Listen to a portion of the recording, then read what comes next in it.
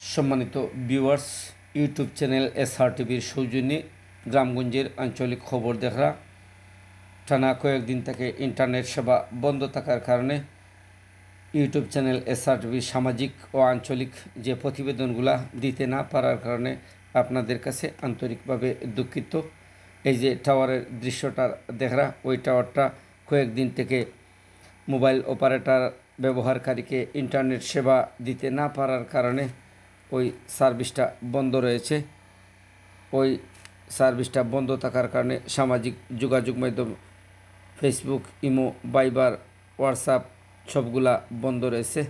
প্রবাসী ভাই বোনেরা দেশে ফোন দিতে পারছে না না পারার কারণে দেশে, বিদেশে সব জায়গায় জনদুর্ভোগ সৃষ্টি হয়েছে। YouTube channel SR TV subscribe করবা শেয়ার করবা লাইক দিবা।